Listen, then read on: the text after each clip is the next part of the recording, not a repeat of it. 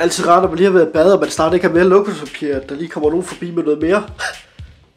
Så er der masser til at røv i. Jeg venter egentlig bare på en park nu, for DHL, der skulle komme her på et eller andet tidspunkt. Og så skal vi nemlig til noget fødselsdag over min storebror. Øh, jeg når sgu nok ikke at få hentet den park der i dag, mindre jeg lige kan nå det på vejen. Men øh, det finder vi ud af. Nu håber jeg bare snart, de kommer den park, mand. Jeg vil gerne have den nu, mand. Men øh, velkommen. Lige nu der er klokken øh, 1, tror jeg, deromkring.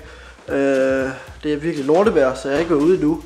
Øh, jeg har fået redigeret den vlog, der skal op i dag, og så den er faktisk på vej op, og så er jeg ved at gemme, øh, jeg er ved at rendere en anden video ud, jeg har lavet til øh, den, vi filmede i går. Jeg ved, den er for rigtig rigtigt. Jeg vil den jeg vil der den video ud, vi øh, filmede i går med Rasmus og Christian. Øh, så den tror jeg nok kommer op i dag. Lige om jeg kan nå at lave en thumbnail til den, men det burde jeg gerne kunne. Jeg ser ikke ud til den der pakke, den kommer lige forløbigt, så det vil jeg faktisk gå ind og gøre nu. Så ses vi om lidt igen. Så for satan, jeg synes nok, jeg kunne høre en lyd, der lige tumlede lidt herude. Og der kom den pakke. Det her, det er spændende. Så først kommer nu. Syret nok.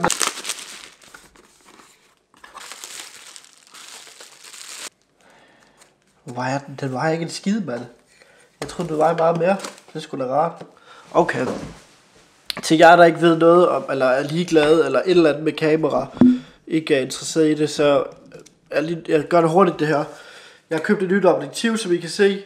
Øh, det her, det øh, går fra 10... Nu vil går gå ud? Fra 10 til 18. Åh, oh, sygt nok. Det går fra 10 til 18 mm, så det er meget vidvinklet. Det jeg er på nu er 16. Det jeg er på lige nu. Så skal vi ikke bare prøve at se, hvordan det ser ud, når den er, den er på. Er I klar? Hold øje med, hvordan pillet ser ud nu. Og så... Ej, vi klipser. Og så... Nu! Nu! I burde godt kunne se lidt forskel.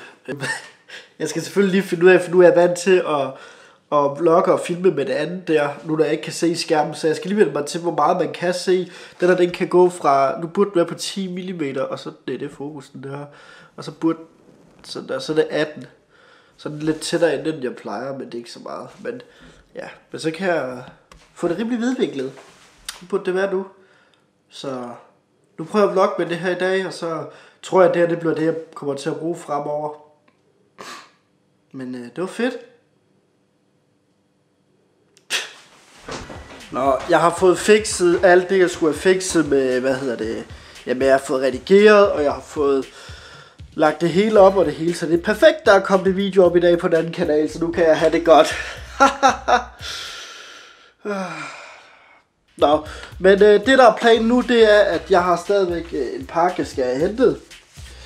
Øh, det skal jeg finde ud af, hvordan fanden jeg får den hentet, og så, så skal jeg til min storebrors fødselsdag her senere. Så jeg tror, at øh, jeg må tage min taske med med bærbart i, fordi jeg skal alligevel op og hente den. Ja, det er fuldstændig ligegyldigt. Øh, I følger jo bare med alligevel. Så vi ses lige om lidt, når jeg har truffet et valg, hvad jeg gør. Så er alle batterierne ladt op.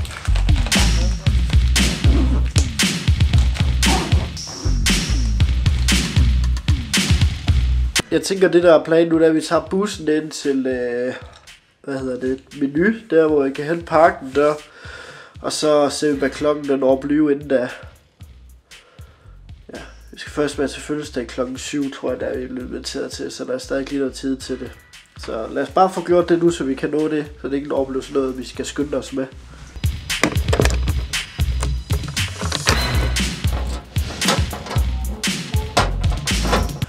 Vi har fået det hele med, og nu er vi på vej ned til bussen. Og så skal vi se, om vi kan, eller vi skal ind til, øh, vi skal se, om vi kan finde over til det der menu der, hvor posthuset ligger. Øh, fordi at det var sådan, jeg prøvede at rejseplane den, og så, så gav den mig sådan lidt mærkelig rute, men lad os prøve at se, om vi ikke kan finde det over alligevel. Super, det er koldt.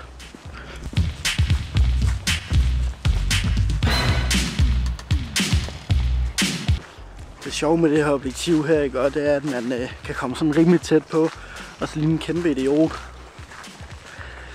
Og kæft hvor det smukt her. Dejligt smukt. Jeg skal prøve at se, jeg tester lige det her kamera med ligesom at bruge det, som jeg plejer at bruge det andet med, at det svæver lidt rundt og sådan noget, og se om det er noget, man bliver helt tosset i hovedet af at se på. I må gerne lige skrive ned i kommentarerne, hvad I synes om det her. Altså, jeg kommer nok til at begynde at blogge med det her kun. Øh, hvad hedder det? Eller ikke kun og kun, men i hvert fald sådan standard. Øh, så bliver det det her. Øh, det der er ved det, det er, at jeg overvejer lidt, om jeg, om jeg skal vlogge sådan her. Og så når der er noget, jeg sådan viser eller et eller andet, så gør jeg lige sådan der. Men ja, det ved jeg ikke. Det finder vi ud af. Nu prøver jeg i hvert fald bare lige at teste det her de næste par dage, hvordan det fungerer. Der kommer vores bus i nu jo. Til tiden er det hele, mand.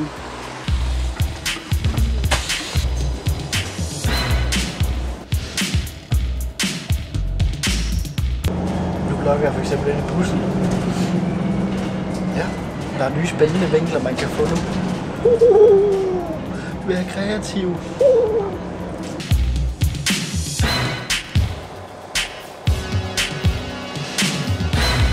rigtig mange. Jeg spørger dem ikke, hvor der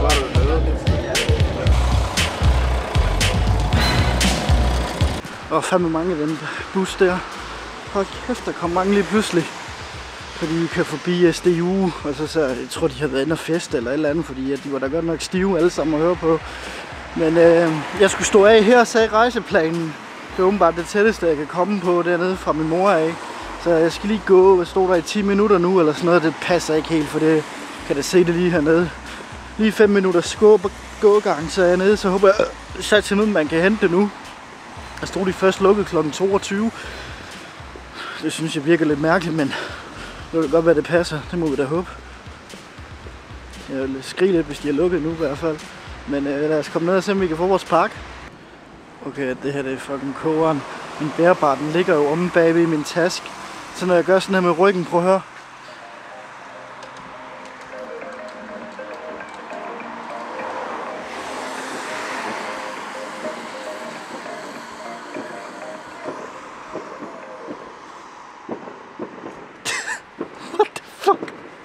Så kan...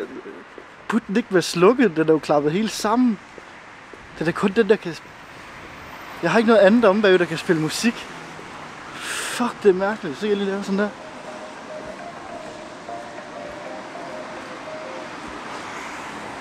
Det er fandme kogeren, mand.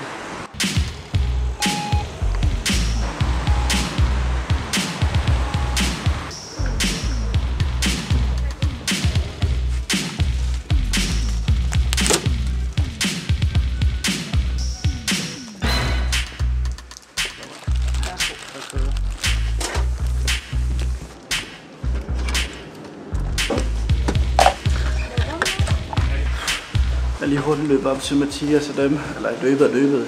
Men øh, jeg er lige taget herop til dem hurtigt, lige med min taske og sådan noget, så jeg ikke behøver at have den med over til min storebror. Så tager jeg over til dem her efter vi har været der. 100% fake.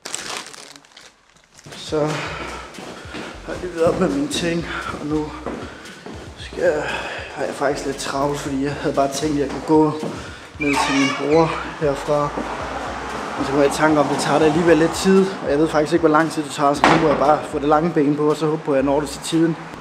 For det lyder, at det er J-dag i dag, og det er nok derfor, de der elever der fra den skole, der de var så stive allerede, da de skulle hjem. Så ja, nu er J-dag ikke lige noget, der tiltaler mig sindssygt meget. Øhm, jeg tror, i al den tid, jeg har vlogget, har jeg måske været inde i byen og drikke. Jeg tror i hvert fald, det kan tælles på en hånd. Så jeg, der har set meget med, I ved godt, at det ikke er fordi, at jeg drikker mig stiv hver weekend. Næsten aldrig, så er det i hvert fald kun alene derhjemme. Ah, ah. Nå, men øh, jeg vil komme op til min bror der, og op til fødselsdag. Og få noget aftensmad.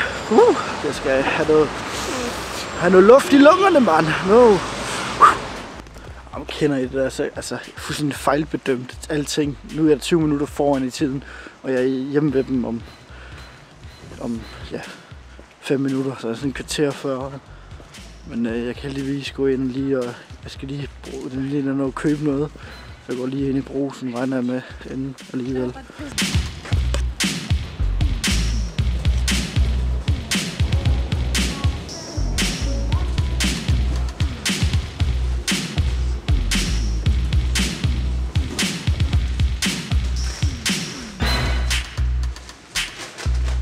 Så havde de selvfølgelig ikke det, jeg skulle bruge, så det passer med, at jeg kan gå tilbage igen nu til min øh, storebror, der hvor de bor, og så passer det med tiden. Så det var en perfekt gåtur at være.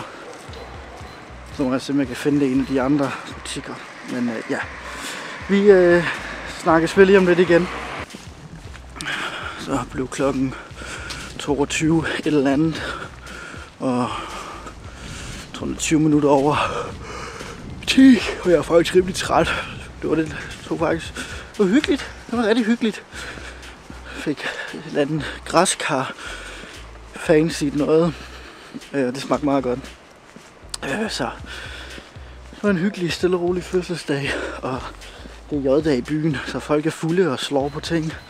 Og jeg så lige en, der slog sin hånd ind i et, øh, med vilje selvfølgelig. Og der ligger en død due der. En død due sikkert op slået ned, men han slog sin hånd ind i en, en lygtepæl, fordi han var hissig. Så ja, lygtepælen må lide på J-dag. Nu på vej op til Mathias og den hvor min taske er og sådan noget. Og så tror jeg, jeg sover det op til i morgen, for jeg er rimelig, rimelig træt. Så lad os komme derop.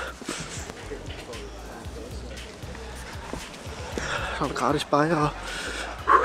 Ja, den skal jeg have. Hele banden, eller hvad? Sådan der. Lad os, lad os trykke os, inden vi bliver kørt ned. video hver dag. Perfekt, det her billede. Sådan der. Nu har jeg min armsrækning med stativet helt skudt ud. Uden det der ekstra, ekstra led på. Jeg ved ikke, om I kan se min hånd eller noget. Jeg ved ikke, hvor, hydvinklet det er det her. Men øh, ja, vi er på vej hjem til Mathias stadigvæk. Vi er snart hjemme. Snart forbi alle de der stive folk, mand. Hold da kæft, mand. Nå, men øh, det er dejligt her. Så skal vi prøve at se gå midt ud på vejen. så vi kan se, øh, om vi kan se øh, begge siderne. Jeg ved ikke, hvor meget man kan se. Altså, jeg glæder mig til at komme hjem og redigere med det her, nu når vi har filmet på det her objektiv her, fordi at, øh, jeg, ved ikke, jeg ved ikke, hvordan det kommer til at se ud nu. Jeg håber, at det ser godt ud. Jeg har kun lige fået sådan en lille smag af det, så hvis jeg, hvis jeg bruger det her i morgen igen, så er det fordi, jeg godt selv kunne lide det. Så ja, men øh, lad os komme derop. Hold kæft, det er tungt, når det er, så, når det er helt herude.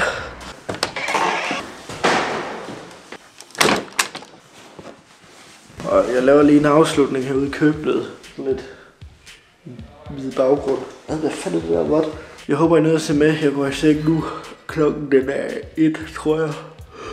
Og det... Oh, for fuck. Jeg vil bare lige sige, at jeg sluttede vloggen nu. Klokken den er et eller sådan noget der omkring, så ja, tak fordi I så med, og husk lige at skrive, hvad I synes om det nye objektiv. Øhm, om det, jeg tror bare, det er en vanesag, hvis, der, hvis du ikke kan lide det. Så please come igen i morgen. øhm, og så, ja, så skal jeg lige lære at bruge det, så det var til at jeg kan gå ind på linsen, og hvor langt jeg skal være væk. Så ja, jeg håber, I er nede at se med, og så ses vi i morgen til endnu en dejlig vlog. Hej hej.